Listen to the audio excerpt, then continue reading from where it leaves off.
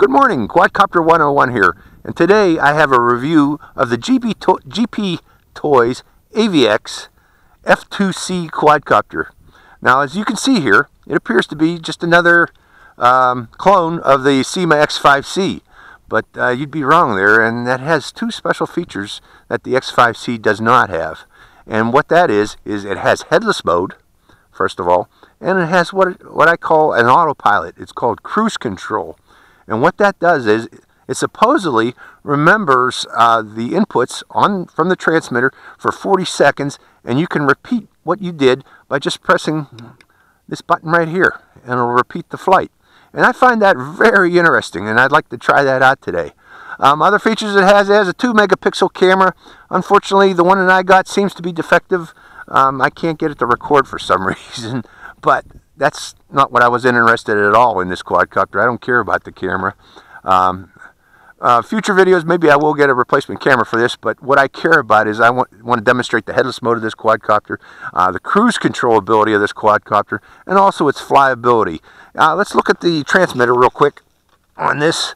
Uh, we have uh, flips, which is activated by that button. We have we can control the modes or the rates of the quadcopter by pressing this button here. We can turn the lights on and off here, and we activate the camera if it was working by pressing this button here quick for a photo and holding it down for two seconds to take a video.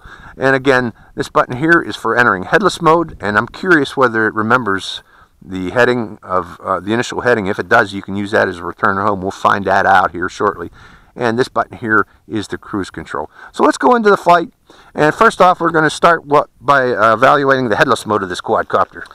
Okay, this quadcopter does not have an on-off switch. Uh, what it does have, to activate the quadcopter, you have to uh, plug it in the batteries. Now, just in case this does remember the heading, I am going to point it off in the direction of that mountains there, and hopefully that will be our headless mode heading, but we'll find out here shortly. Okay, increasing rate. Apparently all you need to do to bind this quadcopter, okay, I'm an expert here, is um, turn on the transmitter. I did not realize that. You don't need to do the up-down thing. Okay, let's evaluate the flyability first. Let's bring it in. This is a high rate. Oh, it's got four high beep. That's four beeps. Okay, I guess that's super high rate. Okay, beginner is one beep, intermediate, intermediate two, is three beeps, and expert. We're going to fly an expert today because there's a slight breeze coming from that direction. Okay, now to evaluate headless mode, I am going to turn the quadcopter and point it to the, my right here, press the headless mode button. It still remembers that heading as headless mode, which is good. Why is that good? Because you can use this as a return to home feature. Okay, if it remembers the headless mode heading, I'm turning the headless mode off again. I will demonstrate that. We're going to set it off into the uh, forward right of the headless mode bearing, and I'll show you how you to use this as a return to home.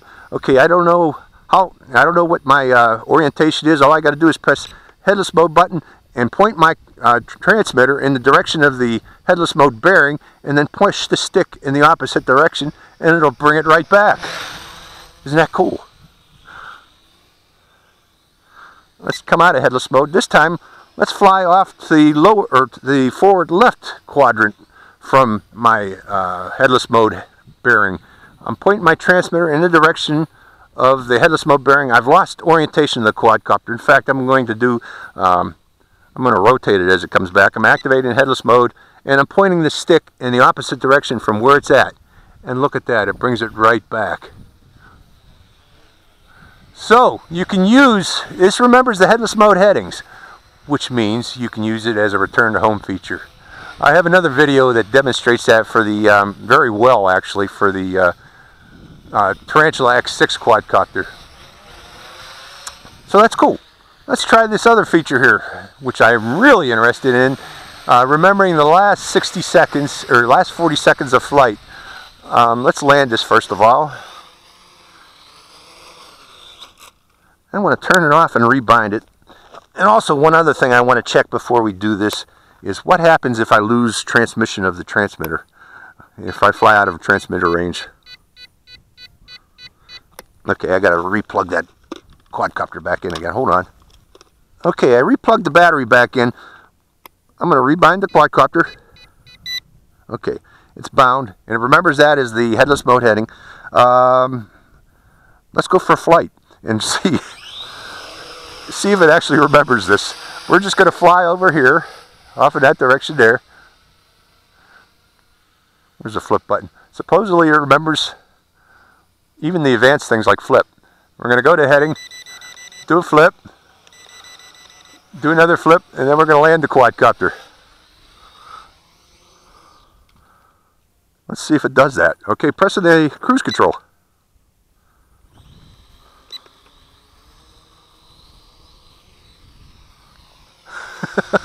I guess you got to control the uh, throttle. It remembers everything except the coming out of it. So, in effect, you have to control the throttle, but it remembers all the other uh, uh, things that it can do. I wanted to do one more quick thing. I haven't checked the what happens when you lose reception on this quadcopter before I do any more of this, because this could be scary using this cruise control. okay, I'm giving it a slow throttle and then turning off the transmitter. 1001, 1002, 1003. Okay, good. It shuts off. I just wanted to verify that it does that. Okay, rebinding the quadcopter, you have to unplug it and replug it back in. So it automatically does shut off. That's what I wanted to verify. Okay, pointing it back in that direction. Let's do that again, doing the cruise control. Okay, so you adjust the throttle. I'm going to high. Let's see if it will do a figure eight. And a flip. Another flip and then going forward, coming back, and landing. Okay, now I'm going to see if it remembers that. I adjust the throttle. I don't know. It's kind of scary. let's try. Let's try that again. It remembers the last 40 seconds. So let's fly starting, let's move it forward of us, our position and do that. 1001, 1002, 1003, 1004, 1005, 1006, 1007, 1008, 2009, 2010, 2011, 2012, 2013, 2014, 2015, 16, 2017, 2018, 2020, 2021, 2, 23, 24, 1025, 1026, 1027, 1028, 1030, 1031, 32, 33, 34, 35, 36. Okay, I'm going to press the cruise control button now.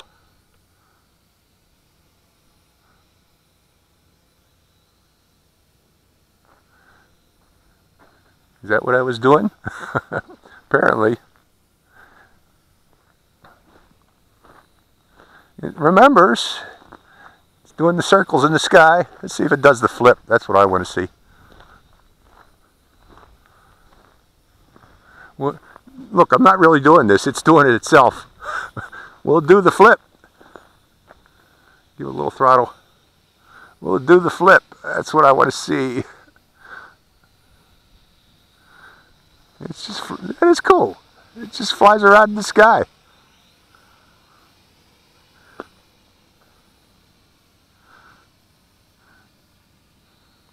Okay, so that was it. Let me go to high. And my batteries are going dead. There we go. So that was my first flight with the GP Toys Aviax F2C. Um, the first quadcopter in the toy class that I've seen that has an autopilot. Uh, it does kind of work. I'm gonna have to uh, do some more experimenting with that to see what else it can do. But and also the headless mode on this works very well as a return to home. It's it does remember the uh, heading from uh, that it was initially bound at. Uh, hopefully I'll be able to get this camera to work in future videos. For, for some reason it just keeps flashing a red light when I plug it in. Uh, I don't know if it's my camera card or if it's the camera itself. It could be just the camera card, but we'll find out in future videos. But again, Aviax, GP Toys, F2C. Hope you enjoyed the flight. Quadcopter 101 signing out.